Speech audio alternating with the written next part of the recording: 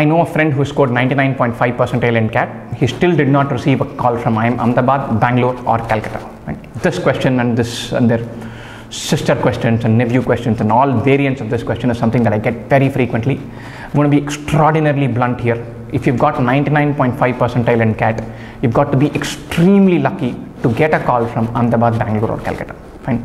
This is 99.5 is just not enough. Fine. I want to be unequivocal about this. Now, why is it not enough? Give or take about 1.6, 1.7 lakh people take this exam. So every percentile is 1600 to 1700 people. and So IIM Ahmedabad, Bangalore, Calcutta have each of them has about 200 seats for the general category, and they would want to interview in the ratio of one is to three. Right. So they're going to call around 600 people to interview for the general category seats. Now remember 1600 to 1700 makes one percentile.